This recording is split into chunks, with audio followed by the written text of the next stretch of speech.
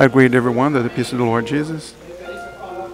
In reverence to the word of the Lord is going to be read tonight. I would like to invite those that can to stand up. We're going to open up our Bibles uh, in the book of the prophet Haggai in the Old Testament. We're going to read. Vai lá, o pastor pedindo. Abre lá a Bíblia. Tá. Haggai 1, verse 13, and Haggai 2, verse 19.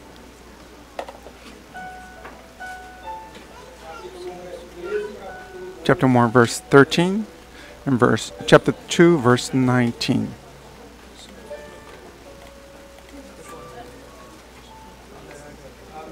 Amen.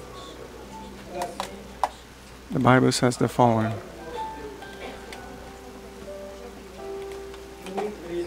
One thirteen. Then Haggai, the Lord's messenger, spoke to the Lord's message to the people, saying, I'm with you, says the Lord. Chapter 2, verse 19 says the following Is the seed still in the barn? As that the vine, the fig tree, the pomegranate, and the olive tree have not yielded fruit. But from this day I will bless you. Amen. Lord, we praise you in your holy name because it's pure that we have uh, enjoyed your presence. We ask you, Lord, that in your word you may bless your people and your church. We pray in the name, holy name of Jesus. Amen. Everyone may be seated.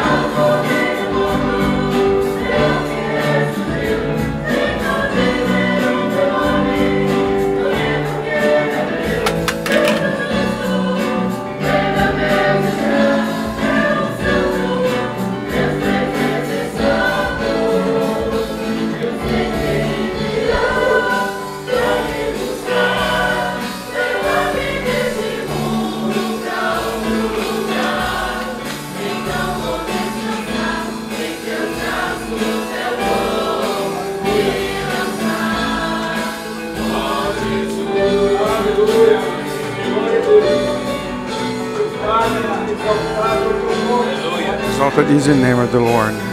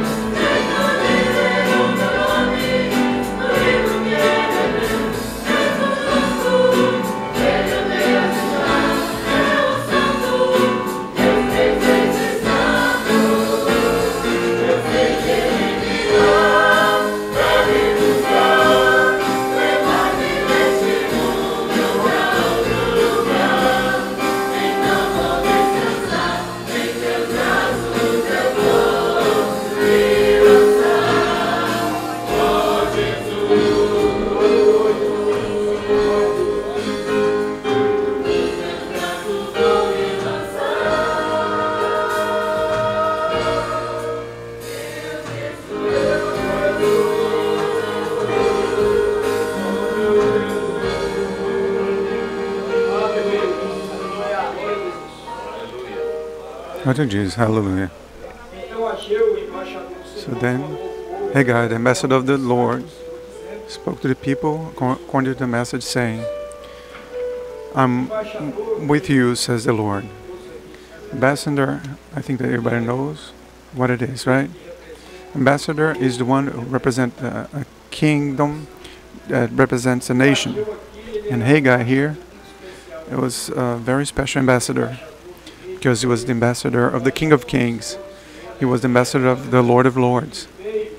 And he came to speak of a land that was not this land, or a kingdom that was not from this kingdom.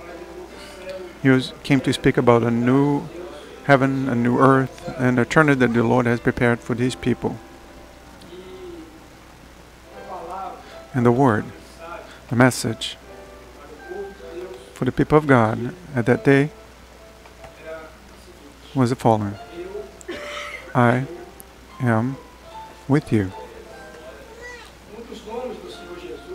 One of the names of the Lord Jesus is Emmanuel, which means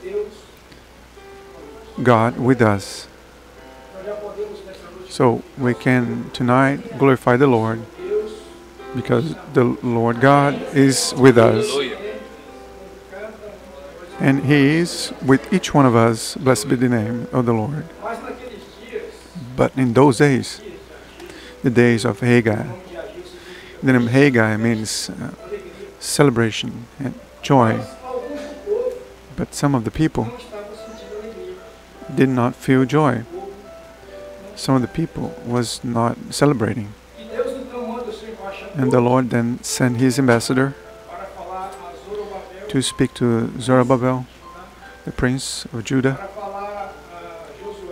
and to speak to Joshua, some son of the high priest, Josadak, son of the high priest, and to speak to the whole people. And the word Zerubbabel, that you're born in Babylon, and it speaks to and he speaks to each one of us. Zerubbabel, he was born in Babylon, but he didn't belong to the Babylon. We are in this world. We were born in this world, but we are not of this world. Blessed be the name of the Lord. And why is that? Because there is a pact, there is a covenant between God and His people, between Jesus and His church. And this pact, this covenant, it cannot be broken. Blessed be the name of the Lord. In those days, the word says that the house of the Lord had been destroyed, the altar não mais existia, did no longer exist, and the daily sacrifice was not happening. And because of this, fala the Lord says that they sowed a lot and they um, harvested little. They drank, but they not quenched their thirst. They dressed up, but uh, remained cold.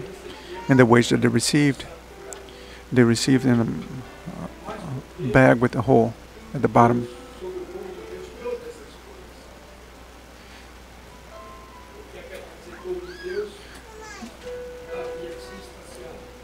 And all the things, those things were happening because the people of the Lord has distanced from God. They had sinned against God. And the word says everyone sinned and destroyed from, um, removed from the glory of God. And the wages of sin is death. And it says more. Where abounded sin, superabounded the grace of the Lord. It was a word of uh, correction for the people, but it was also a word of promise because Haggai was known as a prophet of restoration. And what is to restore is to rebuild, re edify, to make new again. And this is the message of God through the prophet Haggai to his people, to his church. I will turn, I will re edify the church once again, I'll, be I'll restore and I'll make it new again. And the Lord comes to his people through the prophet Haggai and asks a question. The dia, in those days had already been restored. In those days, the temple had already been rebuilt. The sacrifice uh, became a daily sacrifice once again. Because every day we are in the house of the Lord. Every day we seek the Lord because we need our sins to be forgiven. Every day. When we enter here tonight, a sacrifice was offered to God. When we plead for the blood of Jesus, the blood of the Son of God, the eternal Lamb, has purified us and forgave us of all our sins. And now, here comes the question. Haggai asked a question Is there a um, seed on the silo? And we know that the seed has a meaning. The Lord Jesus Himself, He speaks of the parable of the seed or the parable of the sower. And the sower went to sow. And the seed fell on different types of ground. But the Bible says that it fell on a good ground. And the good ground produced to 100 and to 60 and to 30. Nós lembramos de terra, nós And when we remember of land, and we remember the, the land of Israel, when the Lord took the people from Egypt and he says, I'm going to take you to a land, I want the good land and ample, a, land that flows milk and honey. And the spies that went there, they took a, a cluster of grapes and it was so big that they had to, two people had to carry them. And it was a good land. The heart of the people of God is a good land. That's why God uh, God placed seed in the heart of these people because they have a good heart. But the good heart also fails, has its flaws, has its weaknesses, weaknesses, has its problems, its adversities. And the Lord speak with the prophet. I saw David as according to my heart, but David, the King David, failed. And when he failed, the prophet went to speak with David, and David said, I sinned. And the prophet came to David and said, You, David, you, if you confess your sin, he is faithful and powerful to forgive us. So God had forgiven David's sin. It was a word of reprehension, but also a word of blessing, because the people of God, every day, that walk in the presence of God, God took care of everything in every way possible to His people. When He needed to speak clearly to His people, the people heard the word of the Lord, repented of uh, their sins, and received the blessing that they needed for that blessing. So in those days, they were lacking everything. They lacked many things. But the Lord asked a question Is there seed in the barn? The commitment of God is with the seed, is with the word. Heaven and earth will pass, my, my, my words are going to remain. I kept your word in my heart so I will not sin against you. So the word. The commitment of God is with His word. We usually say God said and it's said, there's no questioning. If God says, it is said. There's a song, it reminds me of a song. Is there still seed in, in the soil, in the barn? Is the word of the Lord still in yours and in my life? That was the question of the prophet to the Jewish people in those days. But because in those days, because in those days, the vine didn't produce fruit.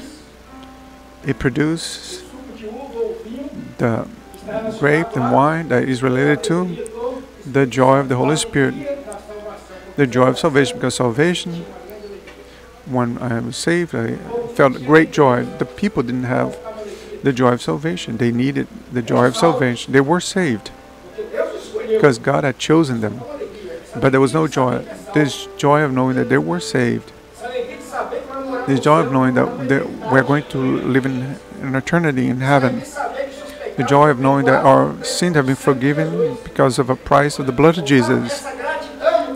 They lack this gratitude in their hearts. That's that joy, and this joy can never lack in our lives. Like there's a song that says, "This joy will never leave this place. Blessed be the name of the Lord." They lacked joy. The fig tree. Speaks of the prophets, speaks of Israel, speaks of the prophecy, and of the spiritual gifts. They never, the Lord never spoke to me. And the Lord says that He visits men in dreams during the night. He speaks once, twice, but sometimes man does not pay attention to this. But the Lord is speaking. So they lacked the fig tree, the prophecy, and the gift, the comunhão. Pomegranate speaks of fellowship, the covenant of God with the church. It speaks of the church as the body of Christ. A When we break the pomegranate, it, it is the seeds are all together. It's a uh, Cristo. rosy color, as a reddish color, because it speaks of um, the blood of Jesus that put put us together in a project of God.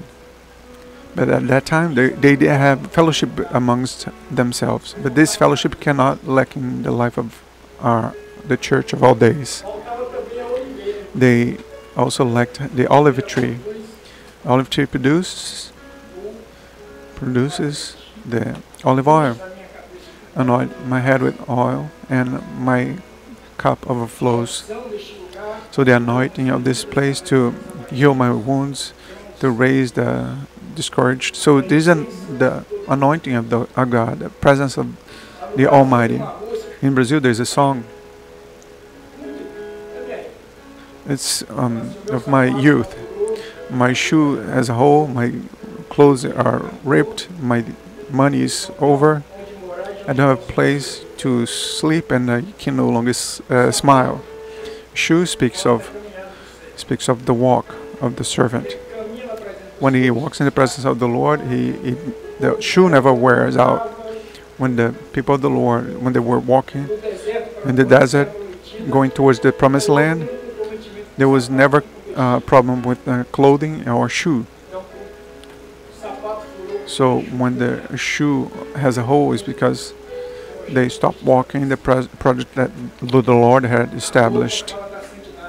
The robe speaks of uh, holiness. When they leave the project, the whole the sanctity is compromised. The money of this world, that was a, a high price was paid.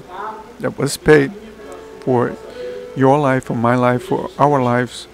Uh, was paid by Jesus Christ in the cross of Calvary. Salvation is free for me, but it costed a high price for God and His Son Jesus. The house is your inhabitants in er- eternity. Jesus said, I'm going to the Father to prepare uh, a dwelling, and I will come back. When I come back, when I uh, come to get you, you will live with me in the house of, of my Father, because there are many dwellings there.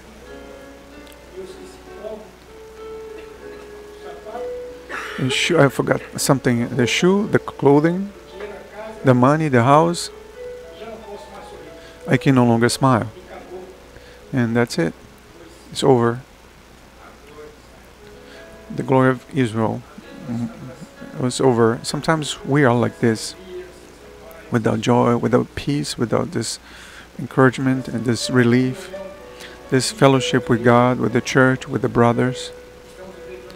We are going through trials in many areas of our lives, everywhere. Only problems.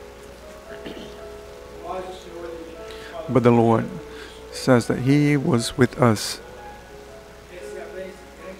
This is the great blessing, my brother and sister, to know that outside of, besides my flaws and mistakes, the Lord is with me, the Lord is with you, the Lord is with each one of us. And it says the following Is the seed still in the barn? The word of the Lord is it present, still present in our lives? And can we affirm with assurance that the word of the Lord is in our midst? Blessed be the name of the Lord, because Haggai, the ambassador of the Lord, the Holy Spirit of God, has spoken tonight to each one of us. And the Lord has determined a day to bless His people. There are blessings, there are prophecies that the Lord had determined four times. A few are fulfilled within nine months, some within 14 years, which was the, the wedding of Jacob with the woman that he loved. 25 years for the birth of a child. 2,000 years, 3,000 years for the fulfillment of a prophecy. But the Lord has said that because of the seed that was still in the barn, because of the word that was still uh, kept uh, uh, outside, besides all the adversities in the heart of the peop- His people, the Lord is saying, from this day forward, I will bless you. Blessed be the name of the Lord. The Lord didn't say the night, he- because the Bible says that night is a moment of adversity. Night is a problem. The Lord didn't say the pro- uh, the night, because the Bible says that the crying may last a night, The problem may last an entire night, but the joy will come in the morning. Blessed be the name of the Lord. And Haggai was a prophet of joy. He was a prophet of, of celebration, festivity. The word of Haggai was a word to bring joy to the heart of the Jewish people. It was a word of blessing and a, a reconnection, restoration. And tonight, my brother and sister, the Lord, you brought to the house of the Lord because God wants to operate, act, and manifest His power, His joy, His mercy upon your life and upon your heart, upon your house. The Lord wants to restore. The Lord wants to restore. He wants to que você He wants to give back to you what you had lost. That's why you came up to the house to, uh, the Lord tonight, you, and you're here glorifying the name of the Lord. That's why it serves a glorification to the Lord. Is because the Lord has provided all the things that we need for our lives. But uh, from that day forward, from today onwards, from this moment onwards, if you hear my voice, don't harden your heart, says the Lord. Today is a day in which the Lord has determined to bless you. Today is a day in which the Lord has determined to restore your life, to your home, your house. It is today, it's now, it is in the present moment. Because this is the moment in which the Lord has prepared a people that are going to depart to eternity. This is the moment of the near, the, the moment in the Lord Jesus is coming to His church. This is the moment the Lord has determined a blessing for a life. And it says the following And from that day I will bless you. Blessed be the name of the Lord. And this is the word of the Lord. And from this day forward, from this moment onwards, the Lord has determined a blessing for your life, for your home, for your house. The Lord has shown a man that came to the church tonight and he saw the temple. Oh, he saw the time and he noticed that the, the clock was going too fast. And during the word, he saw that the time was going even faster. He didn't know what was going on. And the Lord was telling to this man, We are in the time of the near. We are close to the coming of the Lord Jesus. It's the time for us to re edify of our spiritual life, our spiritual house. It's the time the Lord has determined to bless your life, my brother and sister. The Lord also has shown a woman, and her concern with uh, is with one of her family member who is in, attached to the things of this world. He's attached to the world, and she had pleaded for the Lord a blessing, a solution, because she thinks that there is no solution. But the Lord is telling tonight that to the sister that He gave a word for this woman, and the word that she should bring this word to her house. The word is that the Lord is going to deliver your family member. The Lord will restore your house and your family, and the Lord will He will act in your behalf and into your, on your benefit. This word was like a, a rose when it was given. She was given this rose to this family member. The good smell of the Christ would uh, spread in- into her house, and the Lord has shown a couple that's also going through some adversities, and I think that the solution is to to split up. But the word of the Lord is for this couple, for this family, is that you remain together. And after this trial, you will be victorious. This is the word of the Lord. It's the message of the Holy Spirit for your life, for my life, for our lives. Amen.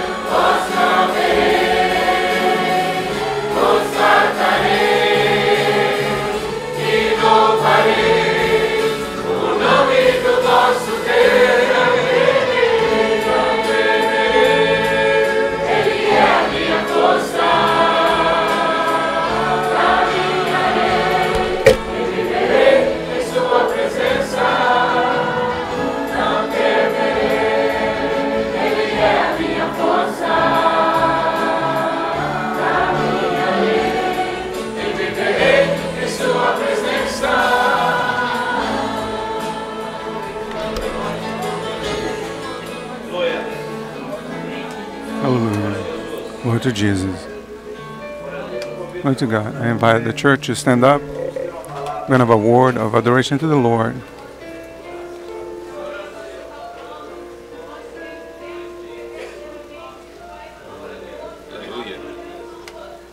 Lord, if we're not you, Lord, what would be of us, Lord? We praise you for your infinite mercy, with it joy upon your people. We praise the Lord for another night in which we are in your presence. We praise the Lord for everything in the name of Jesus. Amen. Glory to God.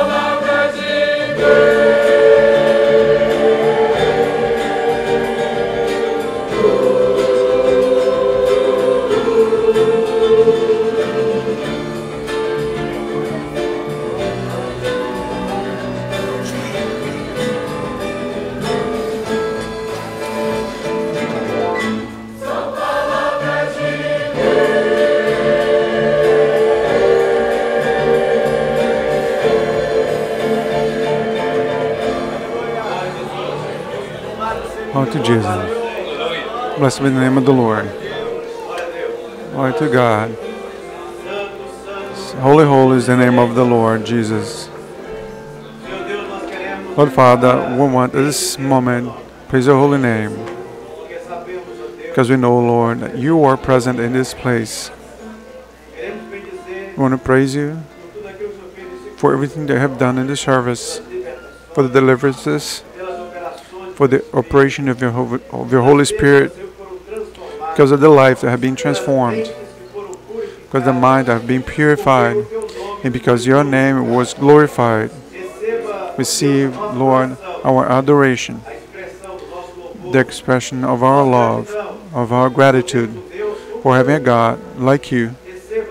Receive, Lord, at this hour, our praise, the prayer that we say in the name of Jesus. And we name you say the wonderful joy of our Lord and Savior Jesus Christ, the love of our eternal Father, the sweet and tender consolation of this Holy Spirit be poured out upon us now and forever. Amen. The church may be seated. We're coming uh, to the end of our service. The gifts, the word was given, what the Lord has shown to the service tonight. The, they are the spiritual gifts and the desire of the Lord.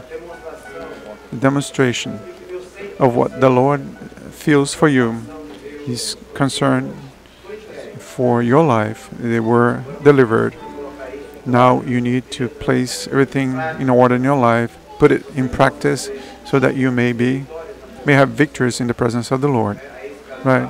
To this couple, separation, divorce is never the uh, the right the best option.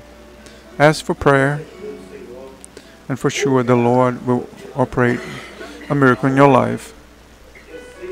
Where there is the presence of the Lord Jesus, everything goes well. But we need to desire.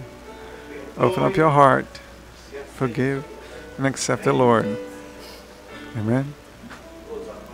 And I say the peace of the Lord to everyone. If you need a prayer, we are at the disposal. Uh, the deacons, the workers, you just raise your hand and we are going to wherever you are.